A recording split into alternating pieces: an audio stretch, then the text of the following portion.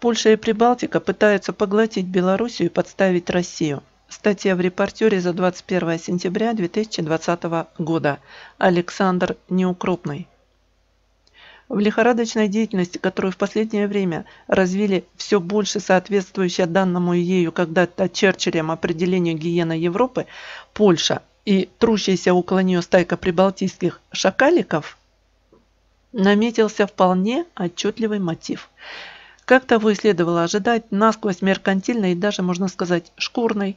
Чего конкретно добивается эта публика, усиленно раскачивая ситуацию в Беларуси и изо всех сил стремясь максимально напакостить нашей стране? Попробуем разобраться, тем более, что все их устремления, откровенно говоря, лежат на поверхности.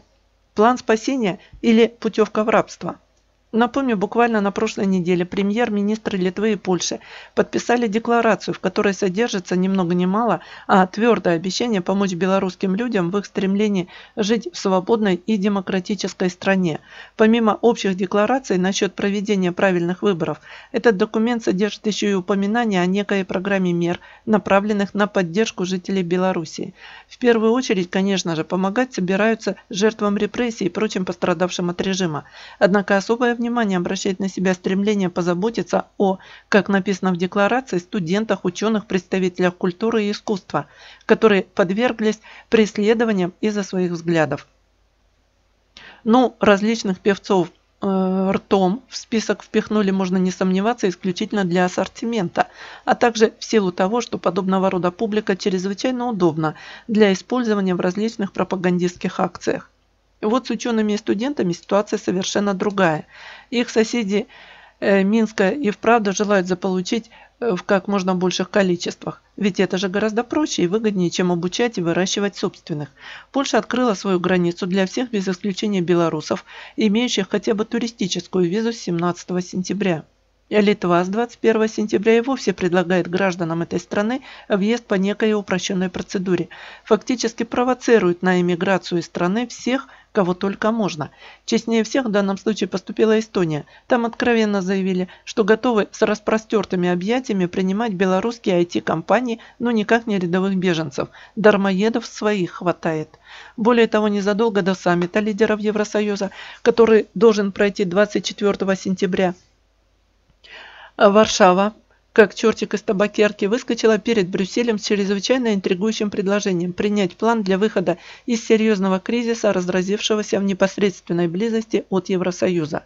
Во вступительной части данного документа поляки со всем присущим им мастерством лживого красноречия рисуют картину воистину апокалиптические – Оказывается, Белоруссия – это нуждающаяся в срочном восстановлении и находящаяся на грани банкротства государства, уровень жизни в котором не дотягивает до уровня жизни в Мексике. Тот, кто хоть раз был в этой стране и знает современные белорусские реалии, оценит данный душещипательный пассаж по достоинству, гомерическим хохотом. Но для Брюсселя сойдет. Далее начинается самое интересное. Ушлые паны, как всегда, предлагают устроить их интерес за чужие денежки. По мнению поляков, Евросоюз и МВФ должны профинансировать создание фонда для стабилизации белорусской экономики, а также открыть свои рынки для товаров и услуг из этой страны и даже отменить для ее жителей визовый въезд в шенгенскую зону. А ведь где-то все это мы уже слышали, не правда ли? Не эти ли самые сладкие сказки рассказывали жителям Украины, когда ее раскачивали для Майдана? И чем все закончилось в реальности?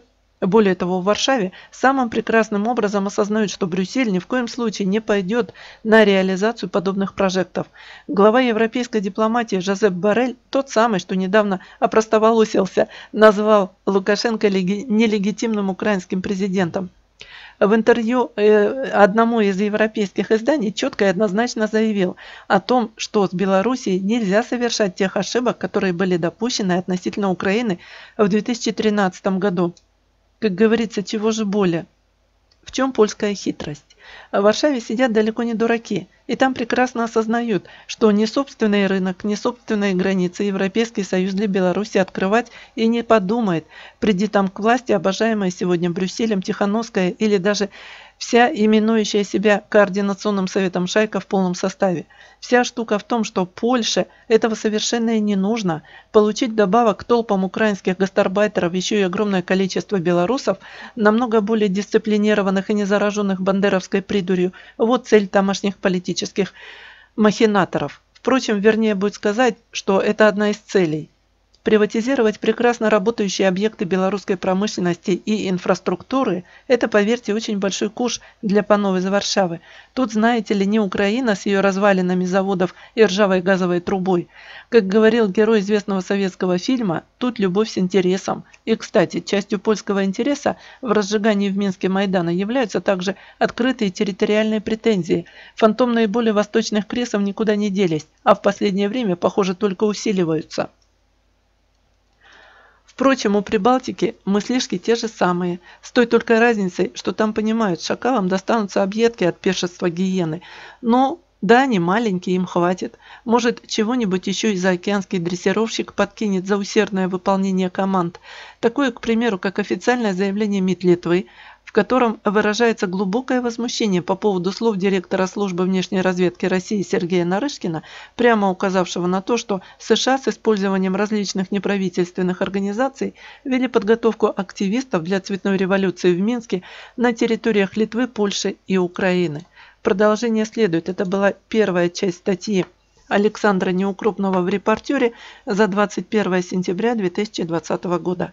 Польша и Прибалтика пытаются поглотить Белоруссию и подставить Россию.